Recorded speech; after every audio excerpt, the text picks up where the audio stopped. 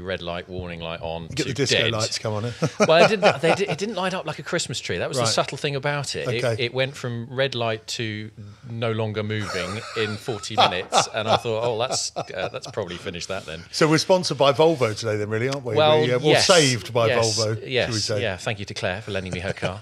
Um, yeah, very much. Would you buy a Volvo now? Currently looking for one Right, actually okay. because I've yeah, but uh, it's the I'm looking at the four x four version because I need something to get a, a wildfowling kayak in the back of it, plus four dogs, plus a tent, plus two kids. Wow. Um, that has got some chance of going across a bit of a slippy field. So, yeah, an XC70 uh, all-wheel drive is. Uh, If anybody's got on one going, yeah, If anyone's got get one in going, contact. yeah. well, that's that's the plan anyway. Just something practical. I don't. I really don't really do flash cars. Um, No. So, and I, I see your Land Rover outside. I used to have a 90, um, Yeah. and it's it's a it's an acquired taste, isn't it? I mean, the, there's a certain there's a certain sort of, there are rules when it comes to driving a, a 90. You have to stick your finger up to other 90s That when you do pass indeed, one. yes. um, that doesn't happen in a Hilux. You No. don't get that in a Hilux. Um, And so- Volvo uh, drivers are usually asleep, aren't they? most they of them. Yeah. Well, yeah, we're, we're thinking about middle age and Yeah. you know in, the big pensions. jumper gets in the way. You exactly. can't see them. Yeah. yeah, or the bifocals. Yeah, but I'm content with my 44 going on 75. I don't know why I like Land Rovers so much. I can barely fit in them. Oh, Uh, the it's an- it's an appalling cocked. driving experience, but that's part of the charm. Yeah, it's a pain for looking sort of good. I think. Yeah, I mean, the, uh, you, I don't know who puts up with it. I mean, if you're over six foot, you end up a, a journey with your lumbar vertebra screaming at you. You're Yes. half deaf because of the engine noise. Yes. Um, my particular one, which I had, you know, it was a, it was an old chassis that I had rebuilt by a friend of mine who specialises in it. Yeah. Um, had a party trick of when you went through a reasonably sized puddle, a jet of water shot out of the handbrake housing and hit you in the left ear. Yeah. Somebody once said that a Land Rover wading warning uh, Yeah. system. it's uh, any any 90 of any vintage, the cool ones. You know, Yeah. they're, they're more of a collection of bolts moving in close formation than an actual car. So, Yeah. yeah, Well, you say where you live, everything's 40 minutes away. For Yeah. me, everything's 10 minutes away. So a Land Rover's perfect. Yeah. Anything beyond 10 minutes, it becomes painful. exactly. Yeah. Yeah. it does. Yeah, it's true. If you're over a certain size, So, uh, head of operations Yeah. for Holts. that's right. that Yes. sounds really interesting. Yeah, it's it's a sort of a catch-all. We don't really do titles at Holts, to be honest with you, No. but I've got to have something to put on the business card. So I've met know. Nick before. Yeah. Uh, many years ago. Really nice guy. Yeah, yeah. What a fabulous idea. Yeah, no, he's done- Now it's he's- totally flourishing. Yeah, he's built that from scratch Mm. um, over the last, oh, however long it is, it's nearly 30 years, I would have thought. Yeah. Um, yeah, and he's hired some exceptionally good, talented people who are some of the best at what they do. Mm. Um, and they are a great bunch. Yeah, really good guys to work with alongside. And do you have an issue with sourcing? Is there- Or does there seem to be a plethora of old guns that are rotating that come to you? And Not until COVID. I think that stopped most things, didn't it? But- Yeah, and we have a we have a network of agents around the country and around the world Yeah. um, who are constantly on the lookout for us, um, and they are we are in touch with them. I run the UK agents. And uh, Rory runs the uh, overseas agents because he does our international shipping. Um, and we try and draw interesting items from all over the world. But we will, you know, you can't turn away the stuff that's at the cheaper end of the market and just say, oh no, we're only going to have your Holland. We don't really want your single barrel BSA or your, you know, Yeah. your Baikal Yeah. because that's not giving a proper service to the client. Sure. So we we take the good stuff, of course, and we put that in our main sale, um, and all the the lesser value items, sort of five hundred pound and under, Yeah. traditionally Yeah. goes towards a sealed bid sale, Okay. uh, which has grown and grown in popularity, and it is a real bargain trove, and lots of people love shopping in it because And are the purchases largely UK or do you export guns as well? no international all Right. over. Australia is currently very big for us. Okay. Um, America is, but it's it, shipping internationally to the states is harder than most people imagine. Most people think, oh, you know, Second Amendment, American gun laws, oh, Yeah. you can get anything you want into the country. That's not Sure. true. Um, it, they're very ATF are very specific in what they need to see. Uh, to import a, a firearm into the continental US. So that's not as straightforward. Uh, obviously, Brexit's had an effect on exporting to Europe. Sure. Um, but we just have to. Everyone's in the same boat on that one. We have to play their bowling as it comes down the pitch. Yeah. So um, we're all trying to find our way over the next six, eight months into the rules. So has Holts been able to operate, and forgive my ignorance, throughout the lockdown? Are you doing, you know, sort of online yeah, we setups and, and we and- took a Nick uh, came to me and said, "Look, I want to move out of London. We know we don't need to be spending the money we're spending moving. Because it was Knightsbridge, down. wasn't it? It was. Well, we had various different sale rooms. Yeah. Um, I mean, I've, I worked for Holts 20 years ago. I've been back another two since la- for the last two years. Yeah. Um, so we've had various different sale rooms over that time and the time that I wasn't there and doing other things. Um, but that's we needed to, to run a an auction in London. You need a secure sale room, which tends to be traditionally a military barracks of some kind, usually TA barracks, Yeah. because they're used to firearms in central London. They have all the security Yes. that you need to see, and we had our own security as well, obviously, and everyone was signing in, and everything is CCTV and all the rest of it, um, so people could handle the guns freely. Yeah. Um, but actually, it was phenomenally expensive to do it. Um, and, you know, Nick is always looking at the way the business runs, how it can run smoothly, how it can prepare itself for the future. So, and quite rightly, obviously, he's been looking to to move it towards a more internet-based business. Um, and he came to me and he said, "Right, we're moving out of London. I need you to make this happen." Um, so all, all of a sudden, we've got to rejig. How many guns? well, this isn't the, the, the, part of the problem. Is shifting. You know, How many do you have at any one time collectively, or you know, at once? it can vary. We shift twelve thousand a year. Really? There or thereabouts. Wow. Um, but what it meant moving out of London, moving to Norfolk, and it meant rejigging the whole of our premises in Norfolk to be able to. We had to move photography into a smaller area so we could build a specific showroom for the guns that Yeah. are on auction in the main sale. Yeah. Um, that used to be photography. That meant trying to, you know, get the staff to see where we were going, bring them along with it. Not because I we had to scale down some people's offices, and that isn't always that hugely popular. uh, and some people have specific needs for room for the what they do. You know, you have to have a proper focal length to get a decent picture of a, which is something that Andrew made very clear to me. So we had to work around that, um, and we had to, yeah, we had to rejig and redo the jigsaw, Mm. if you like, uh, to get ourselves in a position to run four auctions a year from a Norfolk base Yes. with slightly iffy internet near a marsh in West 40 Norfolk. minutes from somewhere. 40 minutes from everywhere, um, and broadcast it live over the internet to the entire world. Yeah, yeah. Make it, make it happen. yeah. And you made it happen. Well, we did, yeah. I mean, it was a collective effort, of Yeah. course. Um, but yeah, so uh, yeah, it's it's it's overseeing that and making sure that those plans can be put in place and that everybody has what they need to be able to do it properly, and that any problems that we face, and we did face quite a few, we ironed out.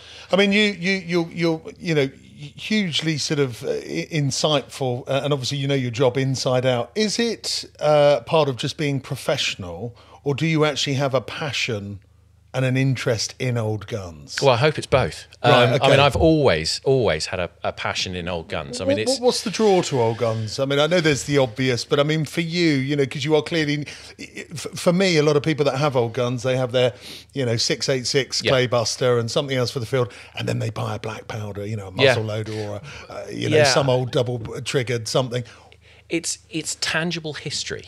Right. It's you you when you're handling a particularly something from pre First World War, you know, a, a Stephen Grant sidelock made in 1910. Beautiful. That is a stunning piece of handmade engineering shotgun that is just it's made by bench trained craftsmen who've done seven year apprenticeships and poured their heart and soul into building the best gun possible not down to a price but up to a level Yes. As somebody, standard. I'm yeah. quoting somebody. I can't remember who said that. But I think Yeah. this uh, one of the one of the gun makers on Facebook said it, and that, I think that actually sums it up. It's not down to a price; it's up to a level, and they don't they didn't compromise.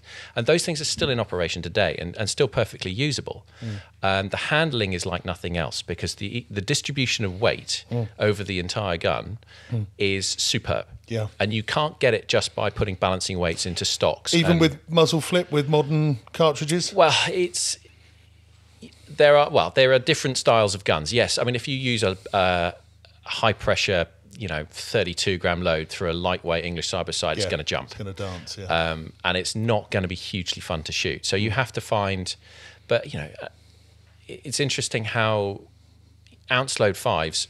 Ounce load sixes, or uh, specifically the ones that I favour, the the of continental shot sizes. Yeah. Ounce load six is actually a five and a half. Yeah. Mm. fantastic cartridge to use. Fantastic cartridge to use. Um, out of a side by side. Yeah. So, but then you know these are all the old rules of lead, and we're moving away from the old it, rules of yes, lead, and we, yes. we're now entering new Discussion territory. for another day. Absolutely, yeah, big topic, big topic. Um, so yeah, it's yes, they are eminently usable, but but Yeah. what draws me to them is when you pick one up, you can you can feel the quality. Yeah. As if you handle enough guns, you know when you pick something up and you can, the quality just sings. It do, it just pours out of the gun in the way it handles, the way it closes, the sound it makes. Yeah. And there are some guns you close where there's that horrible ding as the top lever comes across. Yes. That doesn't happen on an English side No. lock. In, an English side lock properly, when it's not loose and when it's properly jointed, closes like a bank vault door Mm. with certainty, solidif- you know, a Yes. real solid sound. Yeah. And yet it handles like a wand. Now that that kind of that level of engineering, that level of of gun making is difficult to find Yes. elsewhere.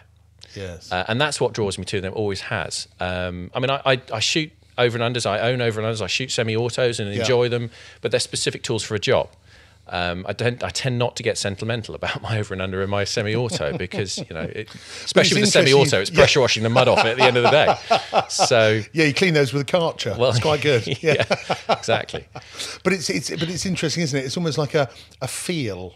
Yeah. It's almost, you know, I, I, it sounds ridiculous. I'm going to say a spiritual thing, but it's almost like a feeling. You, you're considering who's made it, It- how yeah. it was made. It's like it's almost like an experience rather Yeah. than just picking up, you know, uh, a, a sort of a machine made, you know, top notch, modern, over and under, which you know, by its own rights, is a precision tool because Yeah, of what it absolutely, does. yeah. But uh, it sort of almost feels soulless in comparison. It does, yeah, because th- there is there is something intangible that, that is very difficult to put your finger on about the soul of a shotgun. And it, again, it just, we're starting to get a little bit ethereal here. But but I had this conversation with Chris Beaumont, our senior cataloger, who's who's Yes. a, a very old friend of mine, and, and what he's forgotten about English shotguns, most people will never know. To be honest with you, he's huge experience and. I just I suddenly clocked the a Westley Richards that was in my hand. There's a little nubbin on the muzzle, on the bottom rib, at the very tip of the muzzle, and I suddenly realised what it was. And it, and it, my, one of my hammer guns has heel and toe plates on the stock. Yeah. Now, though the heel and toe plates are a throwback to the muzzle loading days, where you would put the, the gun stock down on the ground and it would protect the stock from I like marking. I like the look of those. Yeah, yeah. they are a they are a nod from they were they're completely redundant in the age of a breech loader, but they're a nod to the gun makers of old who trained the gun makers who made those advances through gun making to breech loading to, from hammers to hammerless to ejectors. That little nubbin on the muzzle of a Westley Richards on the on the bottom rib at the front, Mm. that is a ramrod stop. That again is a little nod to the gun makers of old, and I Yes. find those bits absolutely fascinating. Yes. They are they they are specialists at what they do, just smiling at their forebears, and I think that's great. It is. That is what I like about vintage fabulous. guns. I think it's very interesting because you come across beautifully, by the way, but you are incredibly, as I've sort of read your articles, you know, had a look into the website, you're actually very precise. Uh, indeed and factual, hope so. but very precise. No, and, and, and this is, you know, this is positive. Yeah. very precise in what you do and how you sort of put information across. And I find that a very interesting mix with then the sort of spiritual link to, Yeah. you know, the the the, the ownership of a gun, and indeed what we want to get onto Yeah. shortly is your sort of idea behind, uh, you know, coaching and the sort of Zen-like state. Yeah. Um, an interesting mix. I also know that, uh, as you, you you've told me in the past, that you've got a. Uh, and a very sort of uh, uh, an incredible uh, family history uh, with the, relating to the military. Yeah. and we're not just talking catering corps here. No. we're talking top end. Um, do you think that uh, sort of in your blood has led you towards guns? I know you're not military, but do you think there's an, an or is it just a coincidence?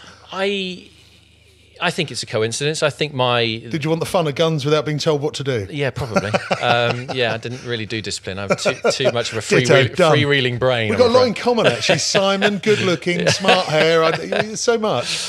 yeah, that's a lockdown haircut for you, but I did manage to get it in order. Oh, I was feeling quite good actually.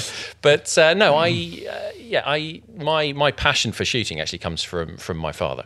Um, you know, he when he left the army uh, in the seventies, and he was an army medic. Um, and he moved. We moved back to the UK, uh, brief time in Essex, and then up to Norfolk, where he took a job uh, as a GP. Because just for clarity, obviously the surname Reinhold Yes. is German. Uh, it's it's sort of d- Danish d- d- German. yes, we Danish, we emigrated from Schleswig-Holstein in the seventeen somethings. Yeah. I think um, not too clear when we pitched up in this country to torture everybody with our opinions, but um, yeah, some, something along those Yes. lines. So uh, yeah, so he he left the army um, and took a job as a GP in Norfolk, and I mean he'd he'd shot you know, he'd shot game while he was in the army occasionally, um, but he started getting invited by his his farming patients um, who would say, you know, come on, doc, let's get you in a line. Yeah. Um, and then it, it became a passion for him, um, and I, so much so that I used to joke with him that um, if his patients wanted to see him during the season, that they would probably have to go beating.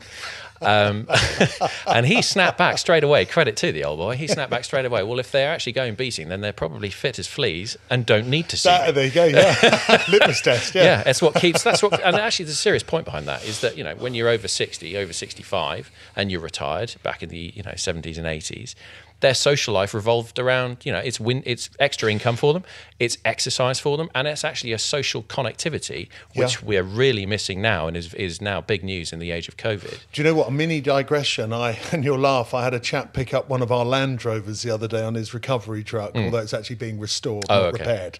The get out clause there. um, the guy was eighty.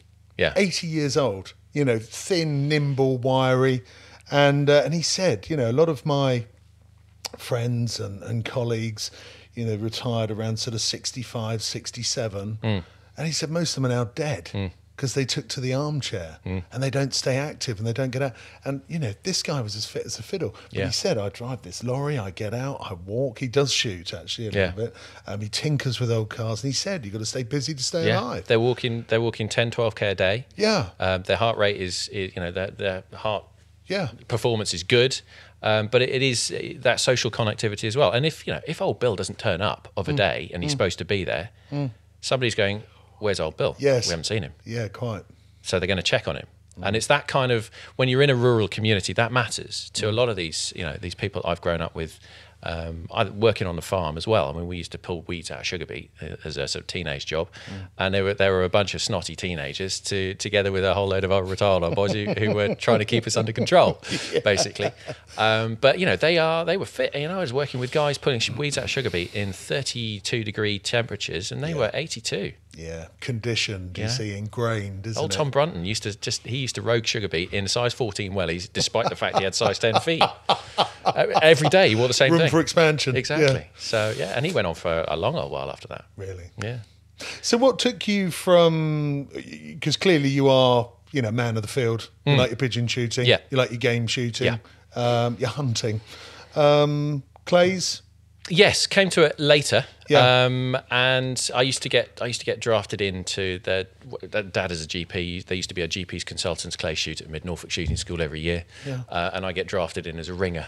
So to I read shoot there was for a the little GPs. side by side championship. Oh yeah, uh, I mean. I, I, I, I, I basically I started competing with because there was, I didn't have a huge amount of confidence, funnily enough, you know, sort of in that in that era, and in sorry, as a as person a sort or of- within per- shooting. both. Actually, Really? yeah, no, it was it was trying to find my way and not not wondering. And what age was this? This was around about sort of late teens, twenties. Okay. Um, and it was it was sort of mid twenties that I decided to no early twenties, I suppose, that I decided to that I enjoyed shooting side by side so much, and I found the British side by side championships and then Yeah. the European side by side championships. I thought, yeah, I think maybe I should have a go at that. And it took me best part of a year to drum up the confidence to actually That's a, enter. it's actually a big step, It isn't is. it? Yeah, um, a lack of confidence. And I, I, mean, I see with people coming in the school, Hmm. um, most people's fear when they're shooting is the the fear of the reaction of others. there you go. This is you know that strange thing. So Simon stands in front of ten. Wow, we're a bit nervous. Yeah. Simon shoots a clay on his own, uh, doesn't miss. Yeah. Funny, it's isn't it? it's Mindset. it's very strange. Mindset is crucial, and it's it, it comes down to what I'm beginning to look into now, which is the way that the brain operates when it comes to these things. And I find the entire subject really, really interesting. And I know you, you you've got a lot to say on that, and that's partly why you're here. What just just backtracking. Yeah. very quickly, just literally just touching on your lack of confidence Yeah. as a, as a young. What do you think that came from? Just it's uh, i mean i could look back and say why did i have it or i can look back or i can look now and say thank god it's gone were you born here? Yeah i was born in germany Right. do you think that played a part coming not to another country? Not really. Um, it's it's just a question. It comes down to, and with with that, you know, you know as well as I do that to, to teach well, you have to have empathy. Yes. So you have to understand a client's lack of confidence if they have one, uh, and that comes down to the way that the lizard brain works. in that we have basically two responses that are, we're preconditioned to have through evolution, um, which is fight or flight or submit, Yes. um, freeze and submit, Yeah. or rest and digest. Yeah. Now, with those basic reactions to any given situation, you also you can see market, marketing people um, have analysed this quite cleverly as well, um, and they have a thing called fear of missing out, FOMO. Yes. So they sell. You know that's why I know it's some a- people with yeah. FOMO actually. Yeah, exactly. My daughter's one of them. There you go. But but the the interesting thing from our perspective is FOPO, fear of other people's opinions. yes, I'd say that's the. Uh, It's absolutely debilitating. yes. Yes. If that is what consumes you, you will never perform at your best level. and did you experience a little bit of that in your late teens when you went to that first? I think everybody does to a certain extent. Yeah. It takes. I think you I have agree. to.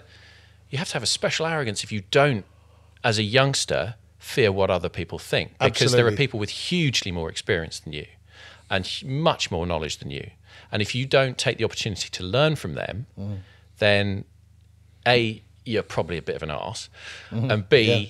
you're missing out on a huge opportunity How to did- extend your knowledge. How did you overcome that initial from when you first went to that clay shoot and thought, "Wow, God"? Um, because you get you- when you show a little bit of arrogance, you get a slap verbally, Yes. um, and that's how you get over it. And you think, oh, hang on a minute, no, I've just been checked there. Mm. What have I done? What am I getting wrong? How can I get that right? Mm. And then you suddenly realise that that sort of incremental self improvement, where you're reacting to situations differently, and instead of you know, if you get a bollocking, instead of cowering away and thinking, oh dear, I don't, don't want to show my head anymore, you go, right, I got it wrong. Okay, take it on the chin. Let's not get it wrong again. But your and lack then you of- gradually get better. Your lack of confidence w- wasn't an arrogance, though, was it? It was more of a sheepish. Was A it bit- sort little of- bit, yeah, more of an introverted, And- and- sheepish- Yeah. So how did you overcome that? Because that I would say is tough. I mean, to be Yeah, arrogant it's- to be slapped, is, Yeah. but I'd say it's tougher for for the underdog to think, "Oh, crikey, I'm really out of my comfort zone." it's it's an appreciation that your knowledge has grown Yeah. over time, and that what I, it's very it's very difficult Well, to I and I think it's really relevant because I, un- I suppose actually what it comes down to, and I think it is too, which which is why it's very very hard to define properly. But I think it comes down to the fact that you realise there is a realization that it is a very damaging aspect of your psychology, hmm. and that to overcome it can open doors to more enjoyment and other avenues of success, and actually it's making the decision not to cower away anymore. oh, I would I would agree. And I think that's a conscious decision. Yeah, here is the pain. There's a gargantuan gap. There's utopia the other Yeah. side, but it's making that leap. It's Yeah. covering that gap, isn't And I, it? and I think there has to be a realization that you can't get to the good things without a little bit of pain. Yes. And if that means confronting your shyness, yes. as I had to, then so be it. You've got Well, to do I, it. I, I've said to a lot of people in the school, and some might laugh and some might knock it. I don't really care. Yeah. Um, because it works for me. And I say to people, this is going to sound ridiculous and this is going to make you feel really uncomfortable. Hmm. But I suggest you go to that local clay shoot this Sunday, Hmm. go with another, so at least one can button whilst you Yeah. shoot. Make sure you go in front of a big group, get in the cage and miss some. Yeah. Go and do it. I Yeah. dare you.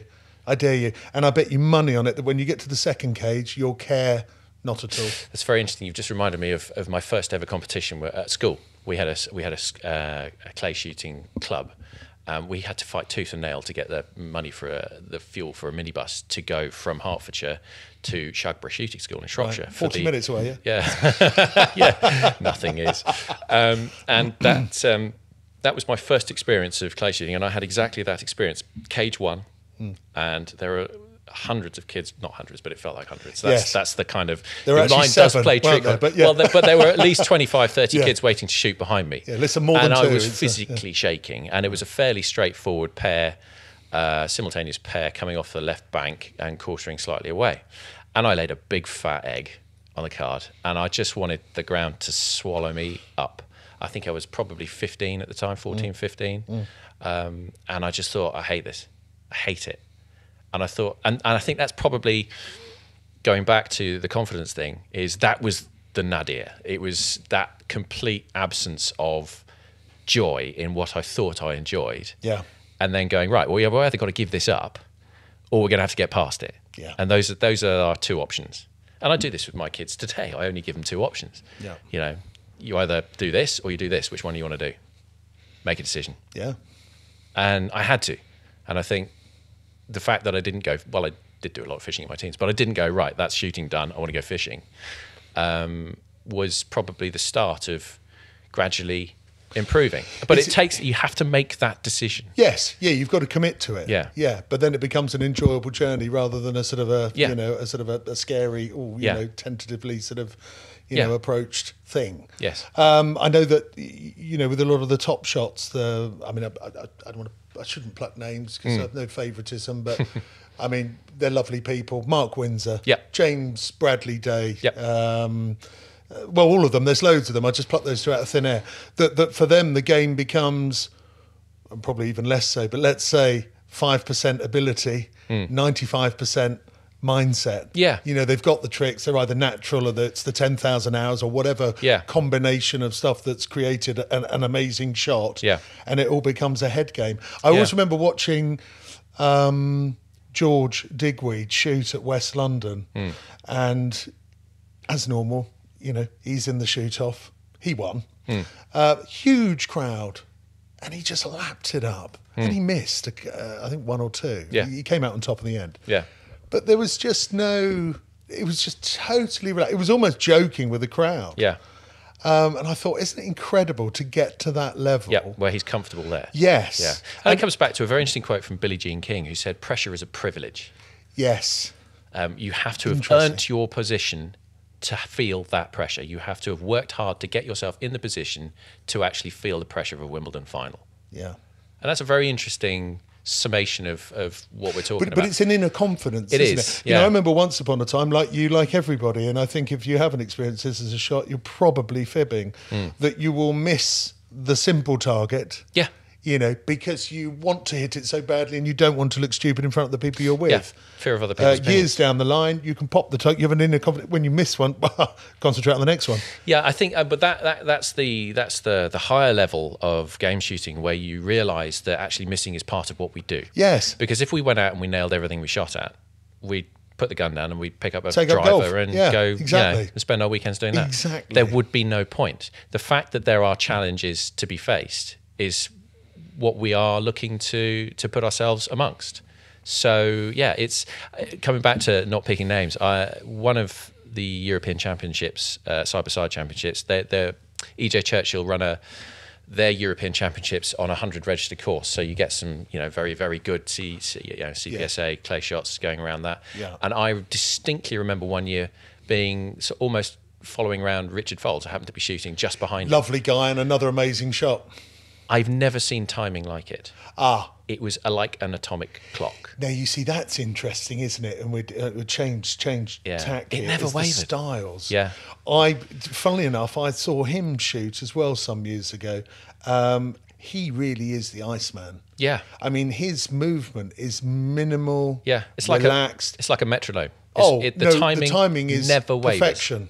It's very interesting to. And that, you only, I mean, you improve by watching these people shoot. I mean, Yeah. it, it had a, a profound effect on me watching his timing. Yeah. And I thought, oh, that's you know. I'd Well, this to- is what drew me towards coaching. Yeah. Was actually when you stop. I think it's like everything. When you stop and, and, and, and sort of actually watch, not just look, but actually watch. You know, you could think, well, 10 people shooting a gun. Well, it's just 10 people with 10 guns. Actually, it's 10 totally different stories going on. Yeah. And I found that hugely interesting. And looking at the top shots, Yeah. but more so looking at just people shooting. Yeah. You know? Yeah. And I remember watching uh, when I first met Alan Rose, and I had the, the pleasure of working with that guy for a couple of years. Yeah. And and the way he, you know, there's obviously Stanbury esque, but it was just, it was just fluid. Yeah. You know, and this guy would whack things off the tower just as they've come out the trap, and it was just, he wasn't trying to show off. It was just, Yeah. it was just poetry in motion. Yeah, I mean, I, I try and pull uh, everything I can from different sports and different people who've reached the top in different sports by watching what they do, how they conduct themselves as well, because that's a big thing for me. Is is it's no for me it's no longer about um, you know killing yet more pheasants and partridges. No. It's about how you conduct yourself in everything that you do. But watching Roger Federer go about his business, you watch his backhand, it's effortless, utterly effortless. The timing is perfect, and even when it when he makes a mistake, he still seems to have more time than anybody else because his reactions are so much quicker than everybody else because his experience tells him what you know what is the ball is likely to do before the, the opponent has actually struck it. Mm. So that gives him half a second more, as I, have said elsewhere. But it's the way he approaches a mistake as well. When he when he nets a return of serve, mm. he just gives it a little bit of a rehearsal shot, gives it half a second to debrief himself and learn what he can from a mistake, and then moves to the other side of the court and faces the next serve it's funny, isn't it? That that okay, and I'll, I'll pick shooting. Strangely enough, that that when you're taught to shoot, it's a, a, an almost a generic process, mm. right? But that the magic actually seems to appear when you get to that point of proficiency, that that point that actually the real wonder and magic occurs, but it's from the person. Yeah. Yeah, does that make sense? Yeah, it's so, a reflection of your you know, character. We, we teach, you know, how to stand, gun up, you know, pre-mounted and then yeah. gun down, and and people get to that point and then they shoot for a few months like that. But then they they, they almost personalise it, or they find that that magic. Yeah. And so it's interesting. We've mentioned a few names there, and there are many names and many superb shots, mm. ladies mm, and gents, absolutely. right? Yeah. But when you look at them, they're all doing the same thing in the sense of getting high scores, winning competitions, mm-hmm. staying up in the league, whatever. Um, but they're all very different. Yeah, that's what I found interesting. Yeah, so, so the real wonder is actually is not generic. Yeah, it's almost personalized. It's almost just a magic. Yeah, and that's why I was really interested in in when I heard you talking about the. Am I right in saying you you, you studied it at uh, the the Chinese sort of history? Yeah, I did a, a master's degree at Edinburgh in in Chinese religions and Chinese art. Yeah. Um, it was, I would have done straight history, um, but actually, to be honest, I think straight history would have bored the hell out of me. I was going to say, you should have really been on Antiques Roadshow, shouldn't you? You know, old guns, Chinese oh, cups, no, that's, that's Bill Harriman's. That's Bill Harriman's gig. I'm not going to take Uncle Bill's food out of Uncle Bill's mouth. Not that they'd have me anyway. But um, but yeah, no, I would have done straight history. But you know, the idea of, of you know staying the entire time in the English Civil War for four years would have because Scottish university courses were four years at the time. Yeah, um, that would have bored the hell out of me. So I did religious studies because oh, it would have been better viewed as world religions because it allowed me to pot off in different timelines. I could be doing uh, Aztec one month, and I could be going into ancient Egypt the other. Both have pyramids, and the combination, sure. the, you know, comparison between the two is interesting for what yeah. they use them for. Yeah. Um, but it's the constant timeline throughout history is is religion and spirituality and how mankind approaches it, yeah. um, what they get from it, um, how many wars it causes, yes. Um, how much you know spiritual fulfillment people out get out of it. Yeah, um, and it is a constant source of fascination to me. I, I am.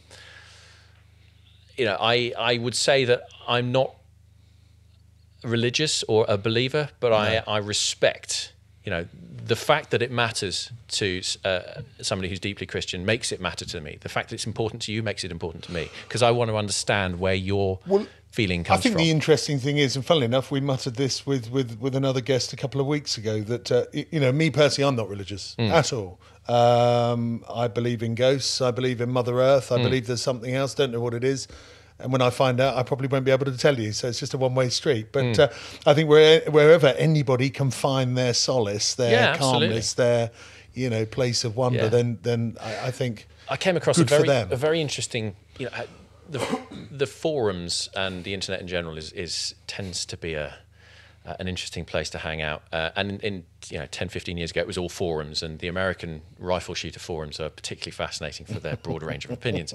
But there was one quote that I don't know what I was on the forum for, but I was just leafing through trying to find some information about a particular caliber, and they had a habit of listing all the calibers and rifles that they used underneath their post. Yeah.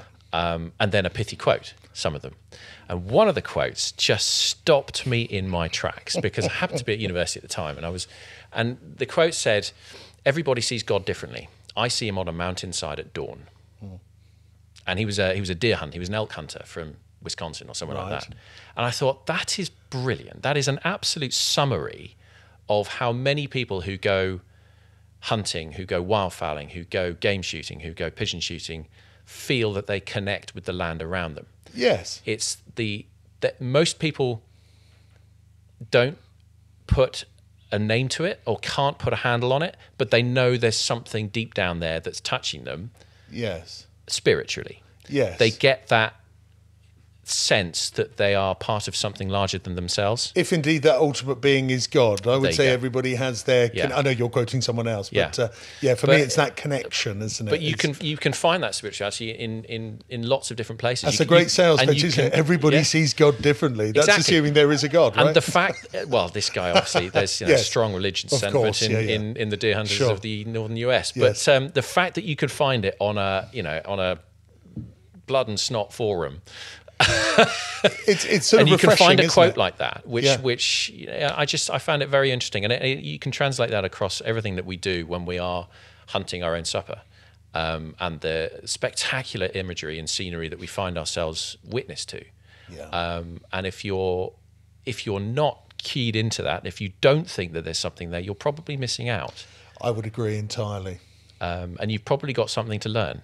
Mm. Um, and you know, I, I take great delight in watching a woodland come alive, sitting up a high seat, Yes. or watching a, the shift change at, at dusk. Early As- mornings for me are, Yeah. are yeah. I find the mind can can can wonder, Yeah. reminisce, and it's like meditation. sa- Oh no, it is totally. It's like active meditation for us. Yes. And we can do that on a peg. When you're, Yeah. I mean, I, I get this feeling January, you know, back end of the season when I tend to do the majority of my game shooting, I'll stand on a peg on a crisp, you know, January morning. And the air is just champagne and the anticipation of what is to come on the first drive, trying to calm yourself. It's active meditation for me on the on the first drive. Doesn't matter where I am. Uh, It's just you know you're there with your dog. Sometimes I'm there with with one of my children loading for me. It's just all round perfect Do you, place to be. do you be. choose to do that, or does that just is that a default of being in that position? That is just part of it naturally for I you. think- you find yourself linking in. I think it's of, something that I I found. Is it conscious or subconscious? it used to be conscious. Right. It's now something I just do. And Just- you do that over over time. You practice at that, and you get better to to just move into shift gear into forgetting the fact that you've got 65 emails in your inbox, forgetting the fact that there's 15 different bills to pay on your Yeah. desk, and you shift gear into just that the privilege of being in that beautiful natural world surrounded by people who are like-minded and engaged in the same exercise all you know hopefully pulling for each other Sure. um, working as a team uh, in different teams as well. I mean you've got the beaters there you've got the pickers up there you've got a team of guns here and you've got to shoot as part of a team. Sure. uh, in a perfect world anyway. Um, so it doesn't always go right. But um, particularly shooting with some of my friends. They must be mine as well. so yeah. So yeah it's but yeah, I, to answer your question yes it's something that that i used to consciously do now it's something i'm i'm lucky enough to be able to do unconsciously Does that is that just uh, I say just because it's a thing of wonder and something I buy into? Is that in itself just you placing earthing yourself in that location? Done, and that's a wonderful mindset. Does that mindset, that sort of sensation, put you in what I'm going to call the zone for Yes. shooting? Or could, but what I'm basically saying is, could you feel that sort of linked wonder, but still maybe have a bad day with a gun? I know that's Yeah, a bit of a difficult Um, question, but it, it the beauty of it is it can do two things it can it is not only is it the extra payoff of going game shooting is that feeling um, because on top of you know the ability to f- have some exhilarating sport and a, and a couple of breaks at the end of the day and decent meal as a result um, but it is it is yeah you get that sense of, of fulfillment um, but it also makes you more likely to shoot your best as well. So it's doing two things. Um, and it's about finding your fluid motion and finding your relaxation to allow yourself to shoot to the best of your ability. And that, that doesn't mean that you have to hit everything. No. That- uh, as we've said before, it's not about hitting everything. It's about performing to your best ability, depending on where you are in your timeline of your shooting career as a beginner or as, as a, a veteran. Yeah. You know, it's about finding your best self um, and shooting your best. And it, it's it's not about being better than anyone else either. No. It's about being a little bit better than you were well, last game time out. shooting's not a competition, No, is it? it's about being part of the better than you were yesterday. Yes. And that is something that translates across a lot of what we do in life. It's about constant improvement at little margins of improvement, about being better than you were yesterday Yes. at whatever you're doing, whatever you choose to do, whether it's whether you, you're cooking what you've shot, or whether you're trying to shoot. It's about Because it's very interesting, isn't it? And I, you know, and you come across them, and I come across them uh, lots of the time, which is people that come in here usually for a lesson or Yeah. a straightener on the tower or something like that, um, and they'll say, "Oh, last outing, I couldn't miss. Yep. It was fabulous." God, two weeks before that, I was fucking awful. Yep. And I, you know, and I shot loads of shells, and and and you say, "Well, hey, how's how's work?" You know, well, Yeah. it's been pretty steady. Yeah. Um, you know, red wine, yeah, still the same. You know, Yeah. wife okay, yeah, children too. Yeah. Why why does that happen? Yeah. Why does that? What's that shift? Because I've always thought if we could, you know, turn that into a liquid and pop it in a little bottle, we'd um, we could retire. Mm. But it's so quickly. personal. Yeah. It's what is so it? Personal. Is it one thing that's personal to everybody, or is it something different for everybody? What, now that is, a, I know that's a bit of a. It's it's you What have, is that You thing? have to treat it on a case by case basis. It's uh, it's not something that's that's you know. I had a client say to me the other day. He put it he put it very funnily. He said, "Jesus, I tell you what, mate, I shot like a guest at an Afghan wedding." and I was like, oh, that's just a brilliant way of summing it up. Tons of ammunition expended for no result. So yeah, I like it. But it is yeah it's and we you know it, it's entirely personal we had to, tr- try and track through and it turned out he'd you know been in the pub the night before and that's probably why he went wrong for him Yeah. So he was relaxed. Um, he Oh, sorry, he was relaxed sorry, he was his- relaxed. It went wrong but, for him. but yeah. his his yeah. his eyesight had you know Yeah. his focus had double complete- vision you know you can see it when you when you've had a, a big night and you take the dogs for a walk in the morning and you're like Yeah. oh wow hang on a minute that's just everything's a little bit fuzzy. It's because you know your your brain is subject to a whole load of chemical processes trying to deal with your enjoyment from the night before, um, and you know it takes time to shift. Um, doesn't matter how much you rehydrate. It doesn't matter how much Dioralyte and paracetamol you cram into yourself. It's still going to have an effect on what you do, um, and it can be it, tho- those effects. I think can shift depending on on who you are, depending on whether you're diabetic or not, depending on Yes. whether you're you know you're of a certain age and your your eye dominance tends to fluctuate or not. Yeah. It depends entirely on who you are. I had a very interesting conversation the other day with a uh, a friend of mine who left the army. He was an Apache pilot Okay. in the wow. army, and um, he's left master eye dominant traditionally as he was growing up as a teenager. He Sure. shot off his left shoulder, left master eye dominant. Then when he went into Apache pilot training, they have to concentrate on two things at once. They have to concentrate on their head-up display with their weapon system, Yes. which is one eye occluded with a, a display. Yes. They have to read a lot of information out of one eye, Yes. but they also have to look straight ahead, flying the aircraft. right. So they're splitting their vision. and feet and hands going. Wow. They got a lot to do. Wow. Now he's a very, very talented sportsman, Yeah. and his shooting nosedived Right. because of it. Because his eye dominance had completely altered. Because his right eye was suddenly doing much, much more work for a day job, Yeah.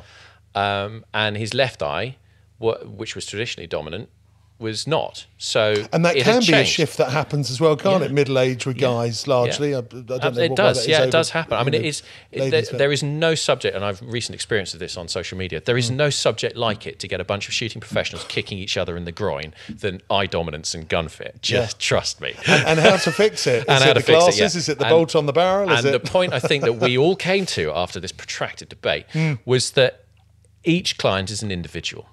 Yeah. And without a proper diagnosis, you cannot get a proper prescription. yeah. So you have to find out what's going on in a person's life to try and work out why their performance is fluctuating. Um, and certainly with uh, that friend of mine who uh, an ex Apache pilot now farmer, um, his you know his eye dominance has shifted back to left eye now because he's been out of the military for six years. Interesting. So his shooting's now back on form, Wow. Um, which is and that, that's absolutely fascinating. And there are other aspects, uh, there are other areas of working life where that can happen as well. Keyhole I've never surgeons, heard of it going back. interesting, isn't it? Yeah. Keyhole surgeons, they're looking at four different screens. Right. so that their eyes are drawn in very different ways. City traders, two different screens. Yes. A lot of the guys in my office, um, you know, they all use twin screens. Um, and I think we're going to find this as coaches as we come out of lockdown. How much? How much time have you spent looking at uh, a small screen about Yeah. Long time. thirty centimeters Yeah. away from your face? Yeah. I have. Yeah, I have. Um, I've got some scary numbers coming back at my phone every time.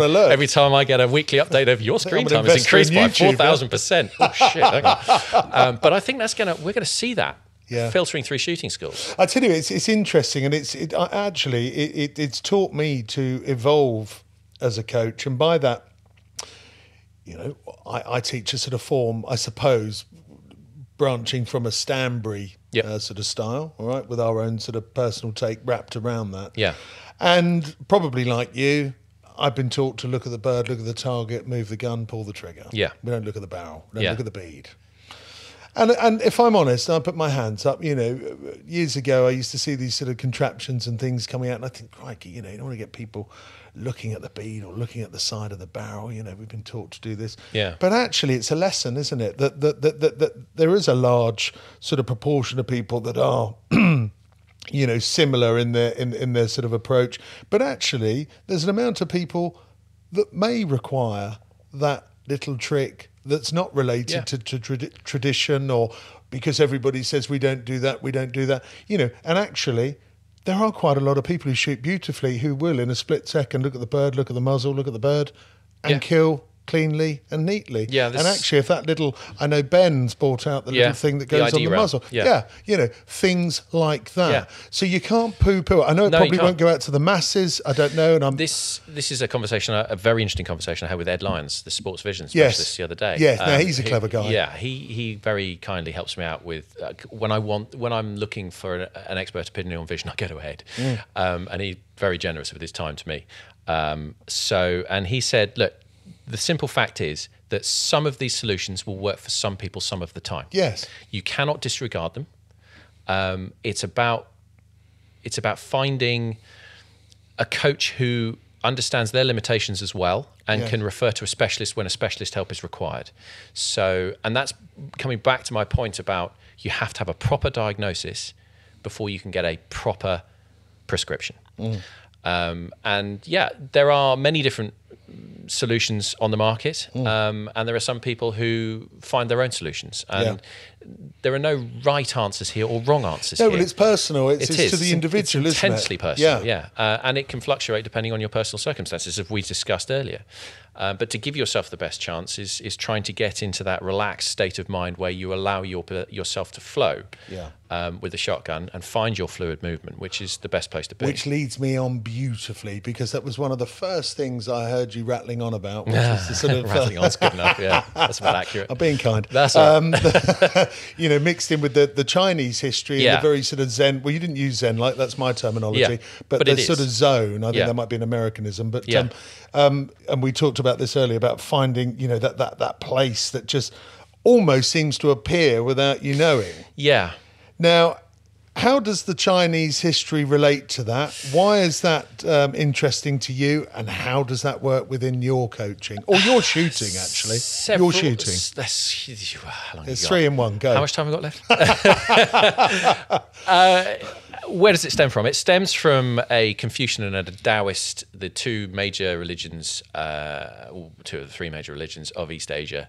Uh, Confucian, Taoist, and Buddhist view of right action and civil behavior and everything that goes with it. So, um, So it's the- almost like a martial. it- well, linked there's, martial- there's two things in in civilian life. Um, the the Taoists and the Confucians, um, the Confucians certainly, but the Taoists had a, a similar outlook in the fact that uh, even the emperor was subject to the laws of heaven, and right action should be observed for you to be a just ruler.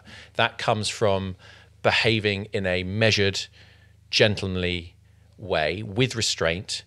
Doesn't matter how much power you have, doesn't matter how much experience you have, how much money, how much skill you have with a shotgun. That's how we come back to shooting. Yes. You have to you have to act like a gentleman to put it Yes. in Western terms Yes.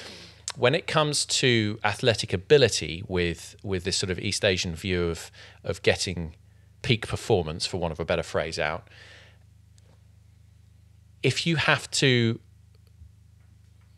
there are very many different quotes that come out of the martial artists of Asia to to illustrate this, but um, there's one that's it took I think it's something along the lines of it took 10,000 repetitions to perfect a technique and it took another 100,000 to understand them.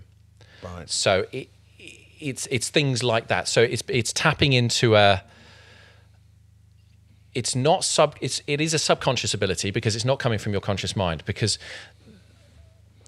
as you can see, this is very difficult to explain. I know. Um, the, the, I really all I wanted to do was eat a flapjack, uh, so I didn't enough, have to have a flap- talk. Yeah, so no, do have a I flapjack now because I'll be. I'll be on a while.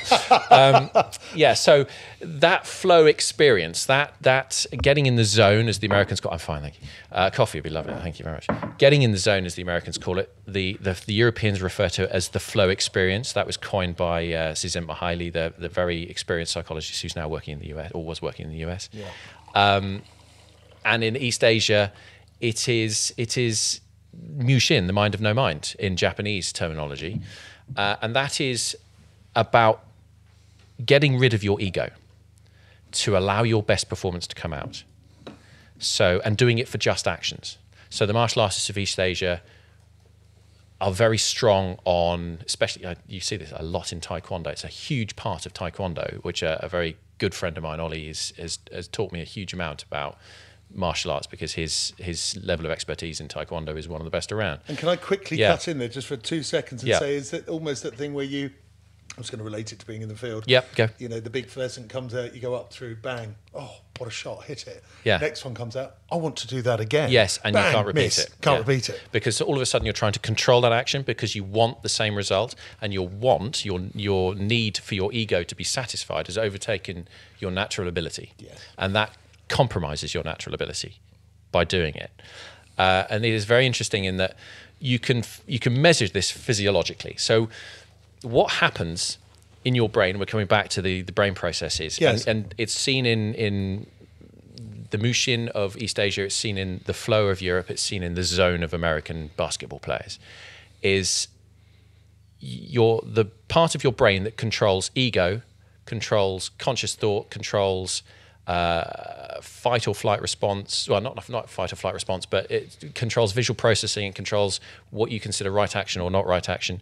That is the frontal cortex, the prefrontal cortex, Yeah. and that part of the brain actually shuts down when you move into a flow experience. And all of a sudden, those processes are shifted to a different part of your brain that is much more akin to controlling your fight or flight response, your your lizard brain, for want of a better phrase, that that actually comes from our, our evolutionary history. It's called transient hypofrontality. Basically, that part of your brain shuts down, and a different part of your brain takes over that is no not interested in ego. And can, do, you, do you think you can train to bring, to sort of create this, I'm going to call it a sensation, this mindset? Is that a meditative sort of approach? Yes, or, you yeah? can. But the, the irony is, the more you want it to happen, the less likely it is to happen. So let me, and I'm on, I'm plucking this name for no reason because there's so many I could use as an example. I'm just going to say Mark Winser. Mm. Yeah. Okay. Great shot. Lovely guy. yeah. Why is he a good shot? Well, Mark's competitive shooting. Yeah. Um, I mean, he has been on top for the last few years. Yes. And he's won everything he's entered. Um, Yes. And I had a chat with Mark at Swinton Park when I bumped into him the other day. He's a lovely guy to He talk is a to. fabulous Great guy. chap, yeah. Um, and it, you'd have to ask him, to be honest with you. But his Sorry, ability I should have to taken. Control. what is your take on, Yeah. on someone like him? this isn't to do with competitive clay shooting. I don't think you can get the same results from a flow experience in the kind of competitive clay shooting at the top You see, level. that's what I'm trying to edge into yeah, because you in- can in game shooting, Yeah. but I don't think you can in clay shooting. I mean, you, there, it is possible.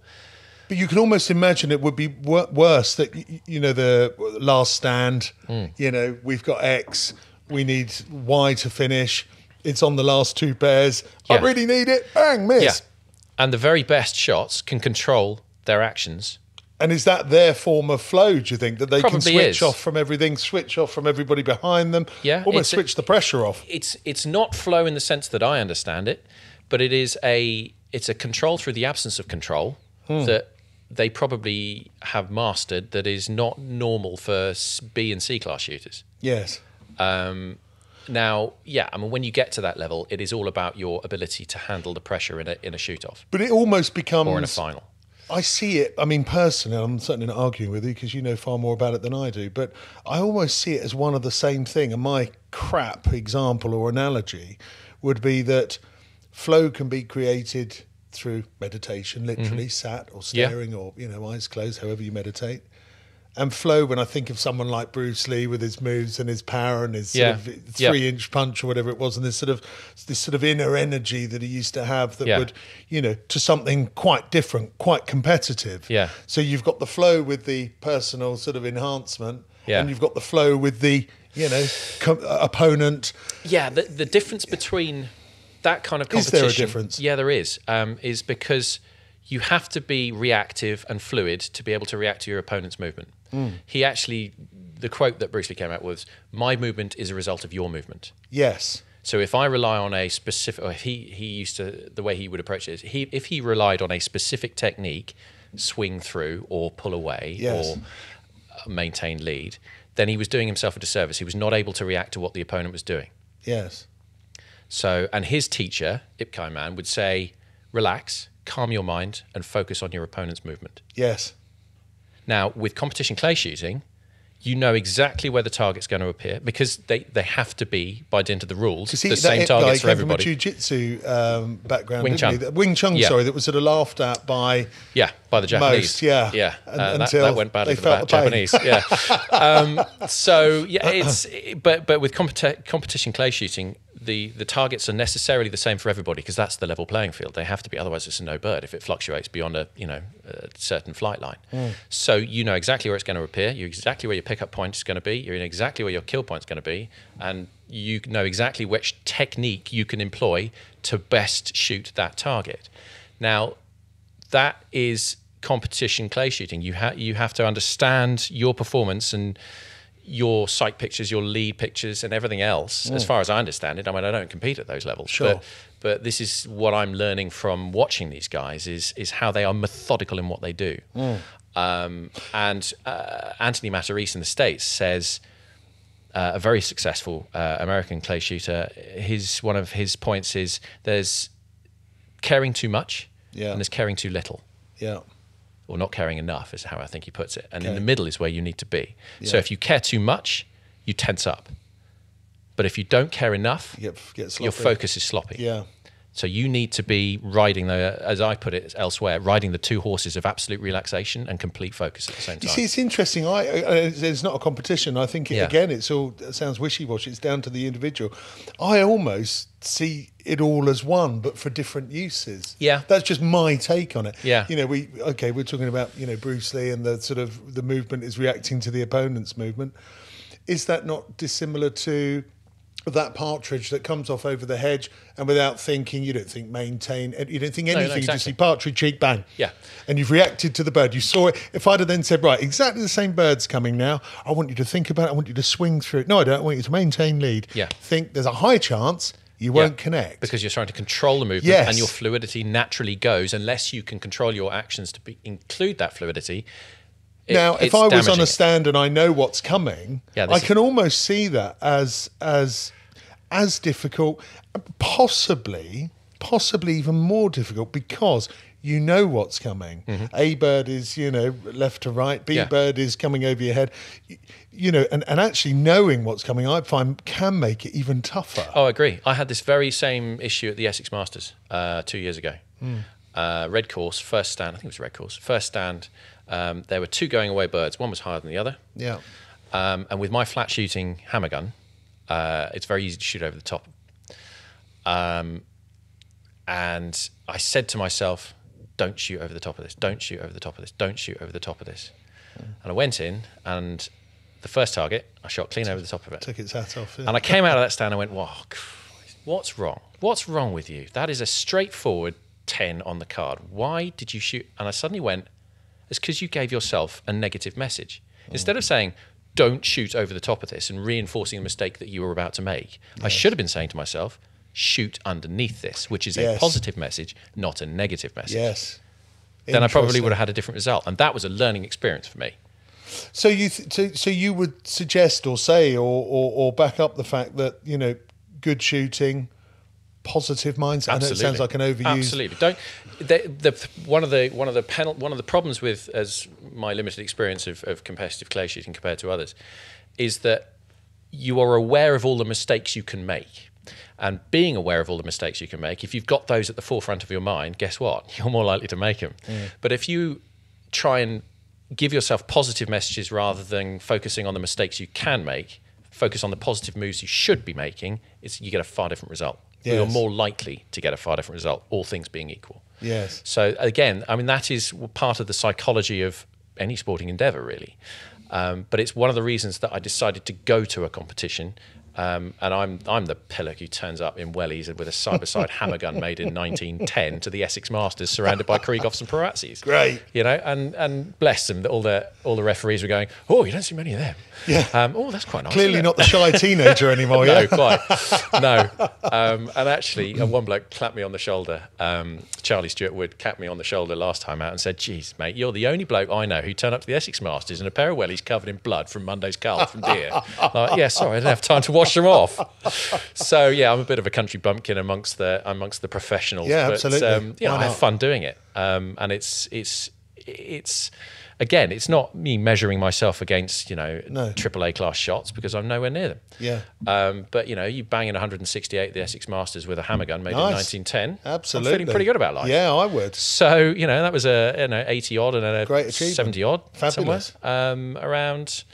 You know, some a pretty stiff test that John puts on. Now, I, I don't know if I should say this because uh, I don't know if it's been released, but I think you might have, and I'll keep it very, very simple. You Yeah. might have written something on a subject about muscle memory. Muscle memory, yes. Yeah. Yeah. Or rather, there is no muscle memory. Well, this is- again, these so are the- just, so, these the- sorry, just Yeah, to cut fine, in very can- quickly. So we've yeah, done the for it. mindset thing. You've gone up to the stand.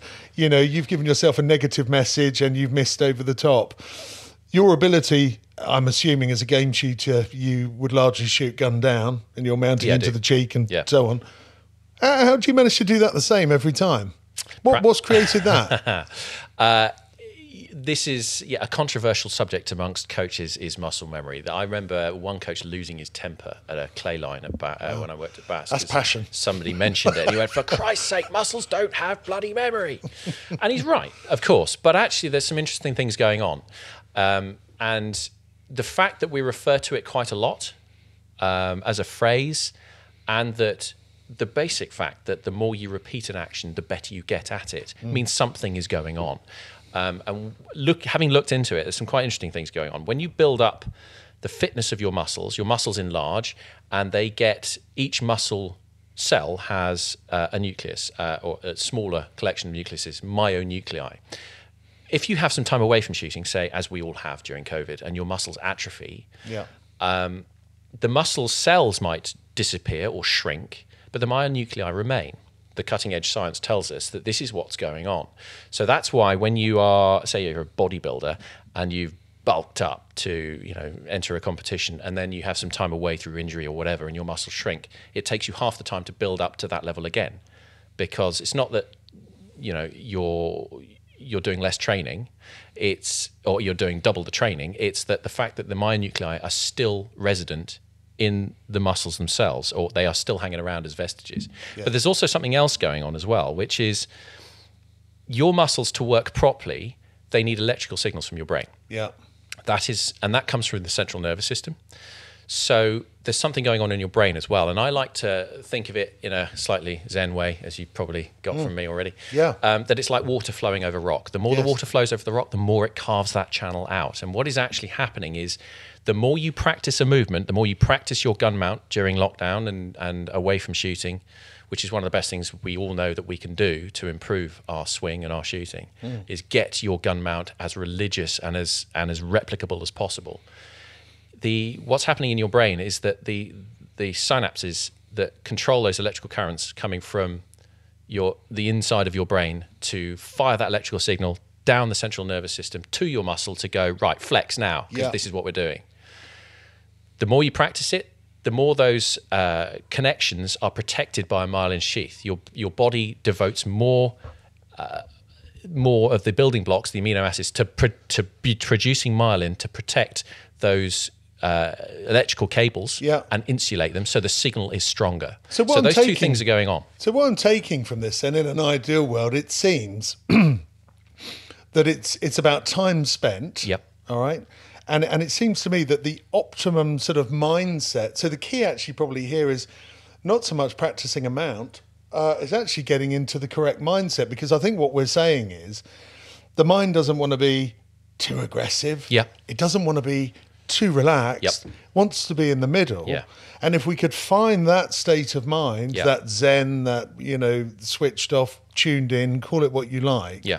That then practice whilst in that mindset Yeah. is probably going to be the most beneficial, the thing that's going to last the Absolutely. longest. Too sloppy, we're not really refined, we're a bit lazy, sod it. Yeah. Aggressive, we're trying too hard, it's Yeah. rigid.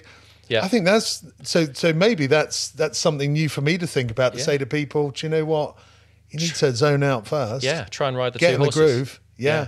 Then practice the mount in the mirror. Absolutely. And to, to do that, there are there are different techniques that you can relax yourself to do that. It doesn't have to be full on meditation for No. 40 minutes. You don't have to be kneeling on your carpet chanting. That's, No. that's not what we're No, talking sure. about. You can actually you can you can get yourself towards that kind of mindset by breathing properly. Yes.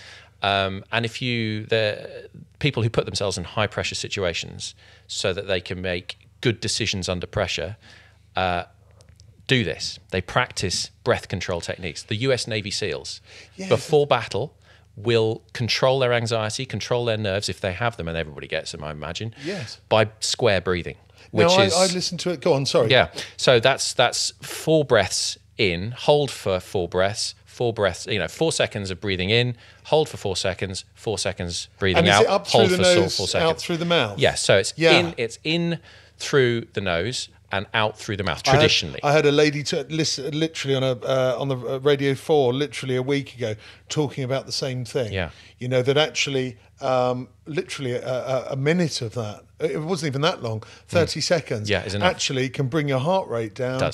And can just level the mind. Yeah. Really clever. Another one uh, which just sounds a bit more hippy drippy. Yeah. but I mean I, I I do this and it really does work. Is standing out on the lawn. Yeah. Barefooted in Yeah, the yeah, morning. absolutely. To earth yeah. to earth yourself. Yeah. Ground yourself. Yeah, ground yourself. Yeah. Exactly. Now, the, you know, and I 20 remember years being ago, told that, and I thought, hold on, is someone, you know? 20 years ago, this is all tie dye and caftans. You know, Yeah, is, sure. this is what everybody everybody would look at you going, "Hey, what?" Yeah. Um, but now, mindfulness is a massive part of the National Health Service huge. about about not having to treat people with drugs to control their Ill- anxiety, not having to treat people with drugs to control. You know their illnesses. They are they are they are asking people to consider mindfulness to for all the benefits that come with it. So they are. It's not. This is not holistic Do you think you have medicine. to believe is- in it to use it? Do you think, you know, I've got mates of mine that go, I oh, I walk it. out on a fucking lawn with no shoes on. Yeah. Yeah, right, done. Well, Yeah. no, that didn't do anything. Try it. You- Yeah. give it a go. Um, you got what have you got to lose at the end Well, of the day quite. by breathing properly? Um, coming back to the breathing side of things, it's not chest breathing No. because you know chest breathing is a sign of death. Yes. Basically, if you're breathing heavily from your chest, you've either run all over. quite a long way. Yeah.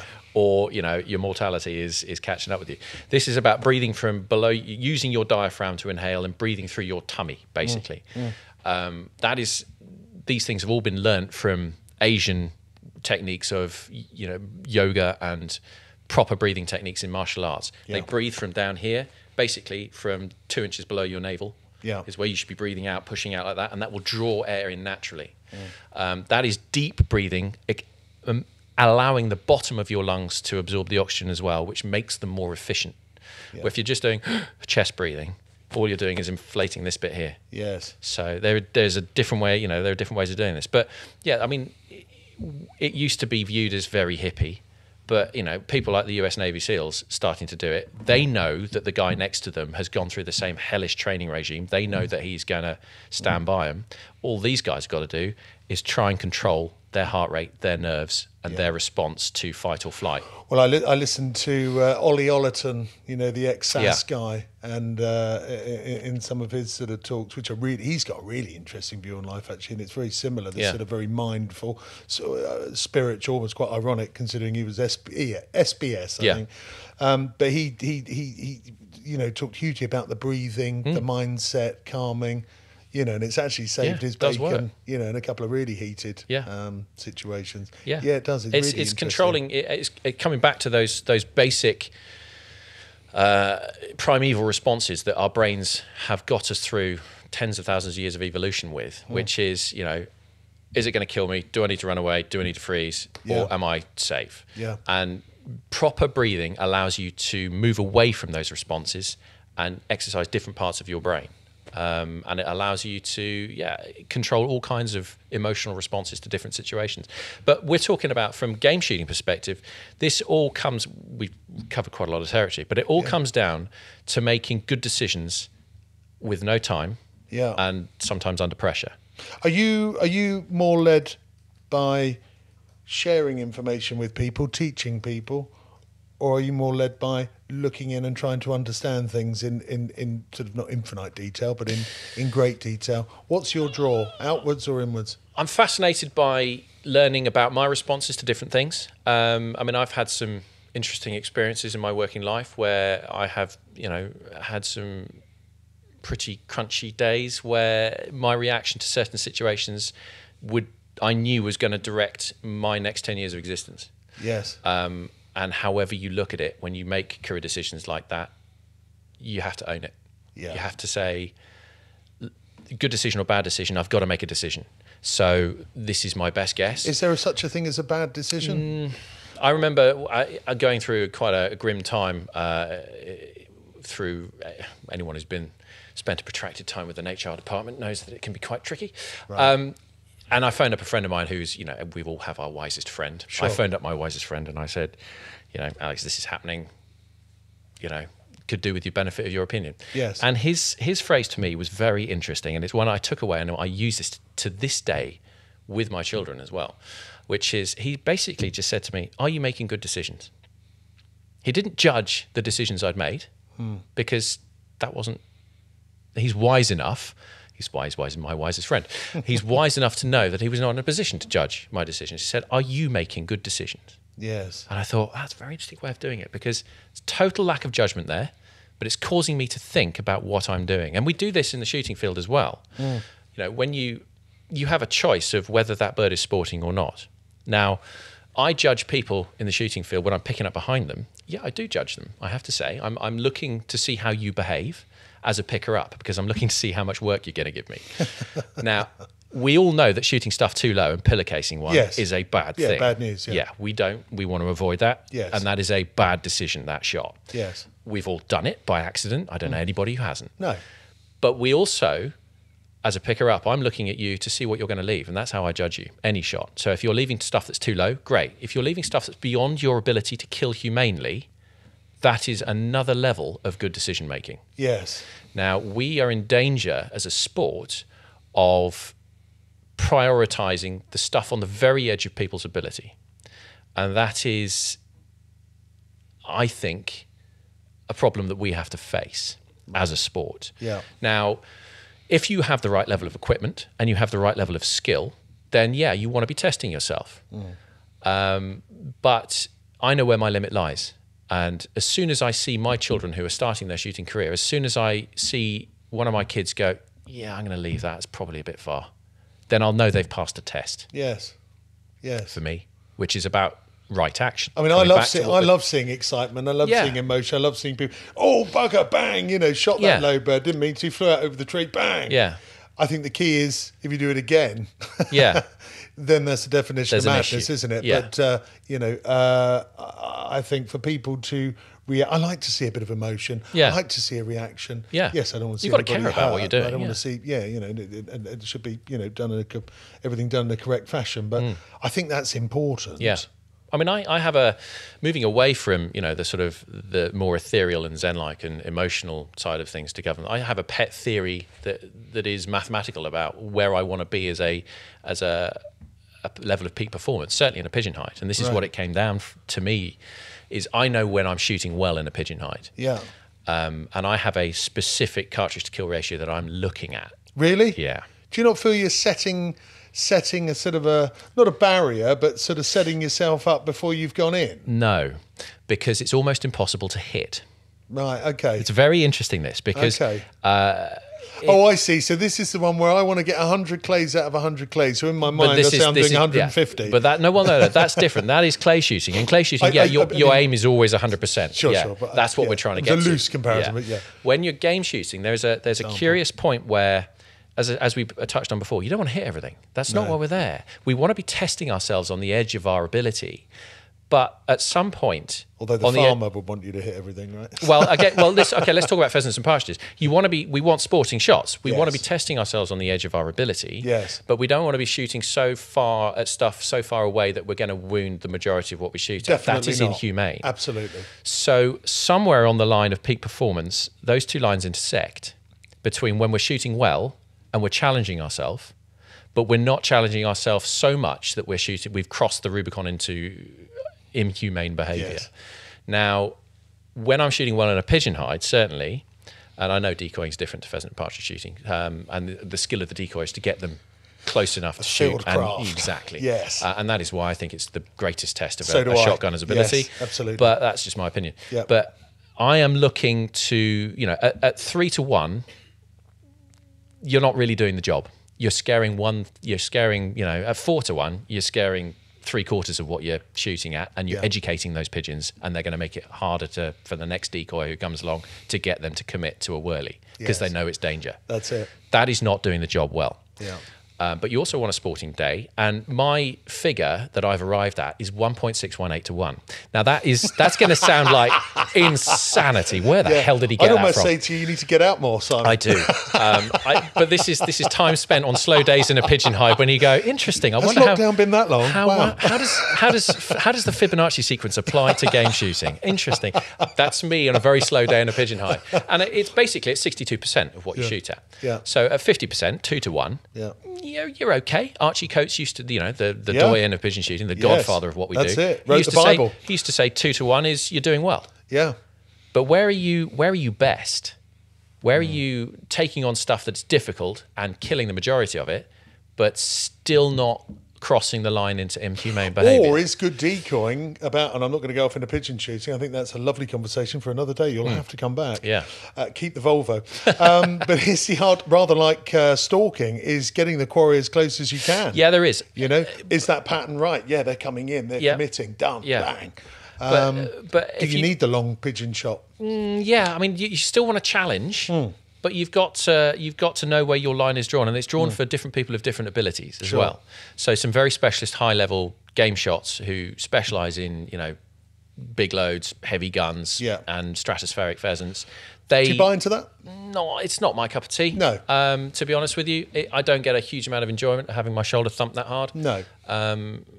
I prefer. I get. I don't think there's. I don't think that's the be all and end all of game shooting. There, No. There's so many different facets. I think it could be the end of, but uh, it's certainly something we're going to have to address in the age of steel shot. yeah. Um, because that that sort of chapter of game shooting has come about through the adoption of heavy guns to absorb heavy recoil, to absorb heavy loads of lead pellets. Cannons. Yeah, Yes. I mean, it, I sometimes, and I'm going to upset a few people here, but I sometimes liken it to firing anti-aircraft shells at stuff on the edge of space. That's not my game. I'm This not is Town really- Hall. We love Uh, upsetting. yeah, It's fine. exactly. Go on. go. Speak Um, freely. I think I call it disruptive opinion. But um, yeah, so you know, answers on a stiff piece Yeah. of cardboard in green ink, please. Yeah. Um, but uh, yeah, it's not my thing. If it's your thing, fine, but do it well. yeah, that's Don't well, it's do like badly. anything, isn't it? Yeah. Do it properly. Yeah. Exactly. Go properly equipped. Yeah. Uh, understand what you're doing. Understand where your limit lies. Yeah. Uh, be aware of that, and don't just chuck lead at stuff that's 80 yards away, because to be honest, beyond 65, Yeah. you're guessing. Absolutely. You really absolutely. are. No, I agree. So, and I'm not talking 65 feet. No. I'm talking 65 yards. Yes. And there is a different, and there is a uh, one of the unconscious biases we have is that is the illusory superiority where we can't measure distance properly. We Mm. Think it's further away than it is. Um, I always remember so- Alan Rose saying, I think it was maybe on a, a bit of film he did that, uh, you know, he was being asked about high birds and he said, you know, 40, 45 yards, 45, 50 yards, anything over that, no consistency. There and he's isn't. sort of right. Well, yeah, I mean, I know you see edited highlights on, Yes, on, on social media and Yeah. that's all really cool. yeah. But and cartridge development has moved on Yes, since yes. 1985, Yes, of 1990. yeah, I Yeah. mean, we've got, we understand more about big pellets and how they perform through tight chokes, which is producing some surprising results. Mm. Yeah. Um, but all of that is no longer relevant in the age of moving away from lead. We've got other things to find. The the ballistics that refer, that relate to lead and all of that information that we've built up over the last 150 200 years worth of shooting no longer applies. We have to relearn and we have to have the humility to understand that we're going to have to experiment ourselves and find out what works for our style of shooting.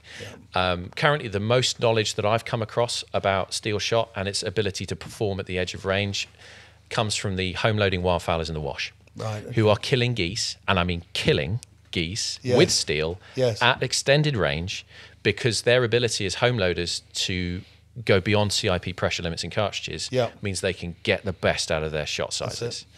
Now, they are not available to the general public, Mm. and without a change in uh, CIP law to Yeah. accommodate very high pressure loads through high performance steel proofed three and a half inch and three inch magnum guns, Mm. then we're going to have a limit. Yes. Um, And I can't see that change coming in the immediate future. No, it's one of the things we have to address over the next four years. yeah, sure. Um, is is CIP pressure limits, um, so that commercial cartridge manufacturers can produce loads that really do get the best out of steel shot. Because, I mean, I'm I'm comfortable that you know a 36 gram three that I choose to shoot on the foreshore will kill anything that is within my re- range Yes. of of humane, you know, ability. Yes, Uh, anything beyond that is you know, my my skill falls off before that cartridge falls off, sure. and I'm well aware of it. So that 36 gram three, the problem is is is absolutely fine for what I want to do. The problem with that is the the high density polyethylene wad that comes with it. Yeah. I mean, obviously we're chucking these things out on the foreshore, and they're very very difficult to pick up. And do you know what? I'm going to be, I know it's going to sound That's really totally rude. No, no, no, no. but th- Yeah. This is the trouble. Um, you're really interesting. You're great fun. You're, you're, you're mesmerizing. I mean, you're clearly, um, you know, au fait and, and understanding of many different facets. Well, generally, certainly within, you know, the shooting I can bore on, fraternity. bore on this subject forever. No, no, no, no, no. It's, it's, so it's fabulous. And do you know what the fear is that we're going to run into? Fair enough. Yeah. And I say a fear because um, what I'm basically saying is um, I want you to come back. Okay, yeah. And we can talk about We're some delighted. different subjects. Yeah. Um, this has been fabulous. And what I'm going to take from today, um, which I think is quite wonderful, and by sheer coincidence, um, something that I and we do here at Hownhall. Hmm. Is and it sounds a, a bit sort of obvious, but is getting the best out of people. Yeah. getting people to do the best that they can do. Yeah.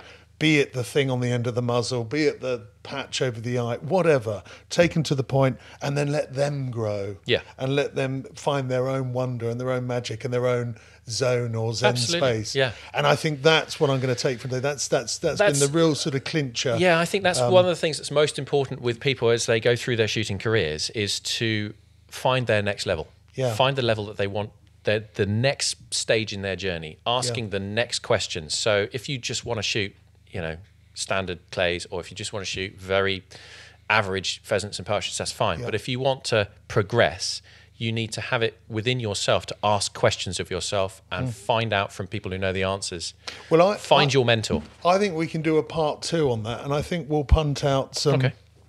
you know some some some sort of questions to listeners and see if they can come back in with with points that they want to pick up on or that might help them Yeah. that would get us to do a a part two to this Sure. and uh, maybe we can do pigeon part three and shot and so on and so forth Yeah. In fact, I can find you a room to rent if you want. You can save the Volvo, and it'll only be ten minutes, and not Oh forty no, minutes away. homeschooling kids tomorrow. I can't stay, I'm afraid. So, and much as I'd like to, um, but no, I can't get out of homeschooling tomorrow. But can I say, Simon Reinhold, who's also uh, you've got a beautiful website. Thank you. Um, you're also on Instagram. Yeah. What's the tag for that? Uh, si- it's underscore Simon Reinhold. Perfect. And the website. .co.uk, sorry. SimonReinhold.co.uk. Perfect. And the website Is SimonReinhold.co.uk. It's Exactly got- the same, subtitle nice is the art, the art of game shooting. just like his his teaching method, fluid and free. Wonderful. Can I say, Simon, thank you very much indeed for today. My pleasure. I know it wasn't a five minute journey. right. Um, thank you for your commitment. Really interesting. And we look forward to seeing you again soon. Yeah. Yeah. Look God forward to it. bless. Thank you.